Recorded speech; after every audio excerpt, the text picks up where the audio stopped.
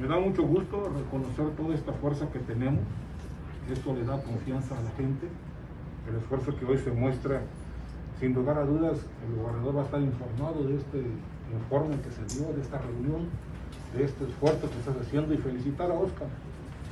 El tener esos contactos directos en las comunidades, hacer este esfuerzo, prepararse para lo que puede pasar, nos ayuda bastante. Muchas gracias, Oscar. Gracias a nombre del gobernador estado, maestro Alejandro Morales Hinojosa, declaro instalado el Comité Estatal de Emergencia y Desastres.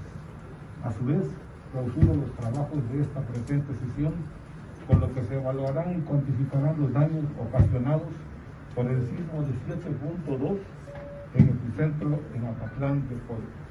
Muchas gracias. Oaxaca. Crear, construir, crecer.